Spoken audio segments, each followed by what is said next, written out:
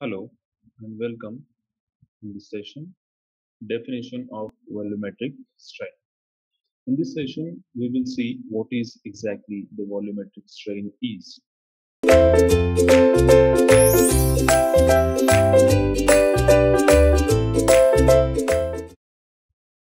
Let us see the definition of volumetric strain. When a member is subjected to a forces deforming it, it undergoes changes in its dimension and hence its volume will be subjected to a change. Therefore, the ratio of change in volume of the to the original volume is called as volumetric strain. It is denoted with this symbol E suffix small v.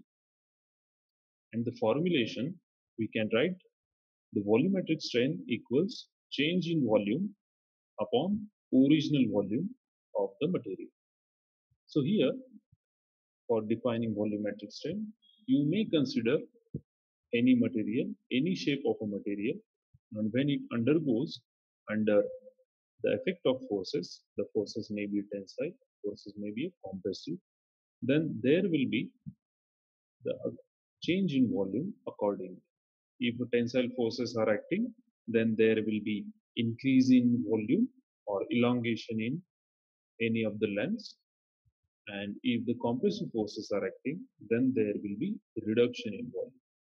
Now let us see these things with some example.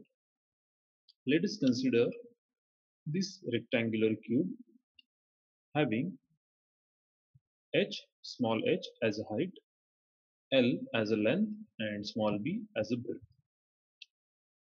As shown in figure, this cube is subjected to tensile forces along all three axes and the effect of which there will be increase in length, increase in height and increase in breadth of this cube. And now we can say the new dimensions of these cubes can be h plus delta h and this delta h is change in its height. L plus delta L. Now this delta L is change in length. While breadth plus delta B where this delta B is change in breadth.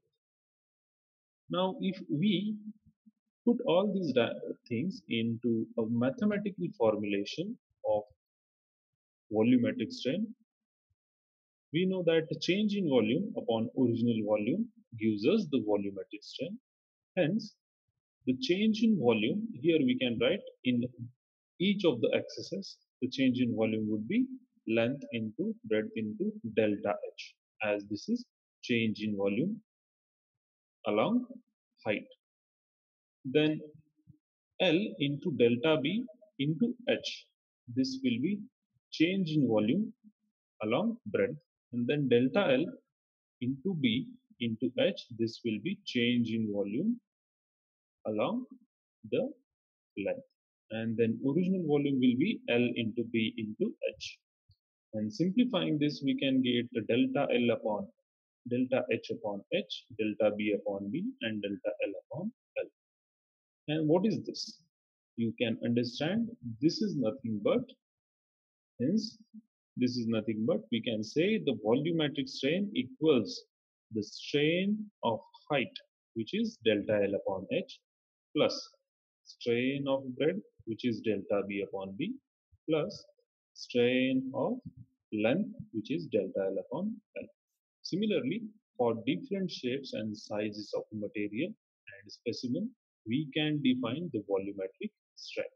I hope this session is useful for you. Thank you.